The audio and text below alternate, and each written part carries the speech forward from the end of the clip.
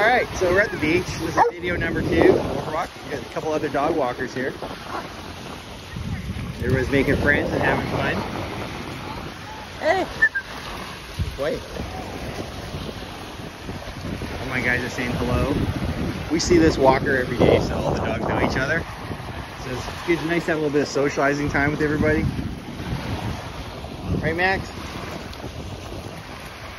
Did I mention that it's the Friday morning woofer walk? Woofer walker Justin and all his little buddies. hey Kai. Kai Hunter. Cookie! Where's Cookie? There's Cookie. Yeah, we're having a good time here. Everyone's meeting each other. It's really nice. It's sort of a beach party social we got going on here.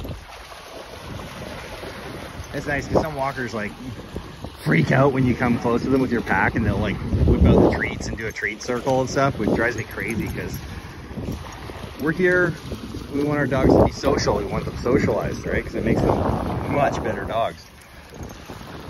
They should meet as many dogs and people and be in as many situations as, as possible so that they're comfortable. Kai's log. So he's gonna drop this way up here. He's gonna dig it back into the back into the uh, back into the water. It's his thing. It's what he likes to do. Max, you being silly?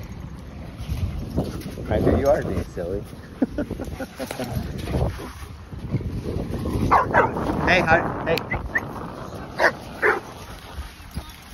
No, I know. I work with. I mean, I got enough. I know. yeah, thanks. Okay, I'm not worried. I can tell he's nice. they do have their way about them.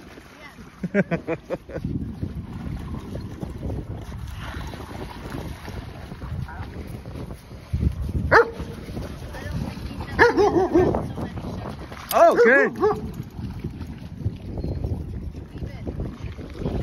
Yeah, you're by you get to be by your people.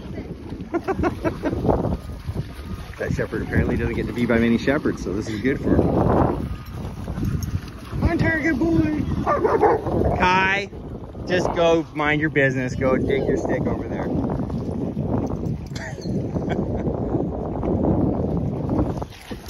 Kai's just best when he's up to, when he's busy doing stuff. Oh, okay, Fitbit's going to visit everybody. I gotta go. I gotta go make sure that that goes all right because Fitbit's deaf and I can't call her back. So probably gotta go get her.